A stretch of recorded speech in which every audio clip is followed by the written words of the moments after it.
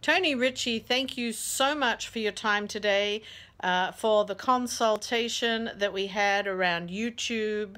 I really did not have the information that I needed to be able to create a viable YouTube channel for my coaching practice to be able to get more value and information out there to help people via video and as much as I'd heard about monetizing on YouTube, I just did not have a clue how to do it, how it worked, the steps to take, the sequence, and all the different connections and pieces with websites and landing pages and all of that.